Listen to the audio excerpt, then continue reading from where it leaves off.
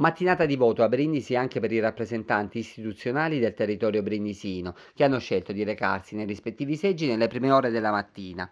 Il sindaco e presidente della provincia, Riccardo Rossi, ha raggiunto la scuola Salvemini nel centro città poco dopo le 11, accompagnato dalla moglie Paola, sperimentando anche lui le difficoltà di ricomposizione della scheda elettorale al termine del voto. Intorno alle 10, invece, ha espresso il suo voto l'onorevole Mauro Dattis presso la scuola Cappuccini di via Vittorio Veneto, informandosi anche su come stesse procedendo la fase organizzativa e rivelando una curiosità, con l'aula che ospita il seggio ben conosciuta dallo stesso Datis, proprio la stessa che l'ha visto alunno ai tempi delle elementari.